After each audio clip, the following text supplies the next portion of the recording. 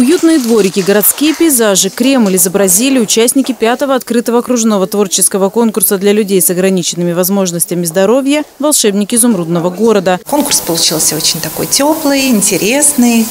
А, работы замечательные в разных техниках, а, с использованием разных материалов. Это и рисунки, ДПИ. В этот раз на конкурс было представлено более 100 декоративно-прикладных работ и рисунков воспитанников 18 учреждений образования и культуры на тему «А из нашего окна». 49 из них стали призерами и победителями. Вы удивительные и прекрасные.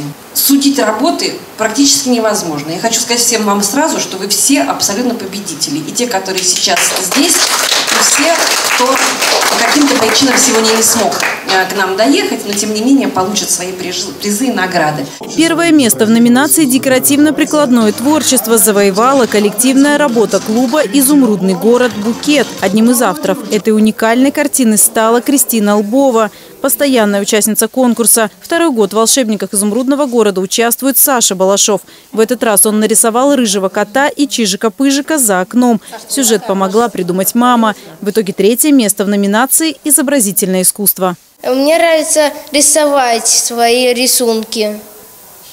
Еще что?